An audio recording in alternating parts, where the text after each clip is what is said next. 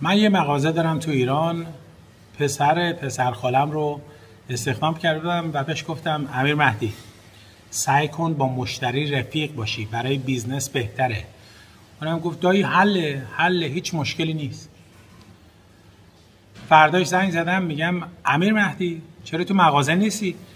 گفت دیروز یه مشتری اومد باهاش رفیق شدیم امروز اومدیم شمال.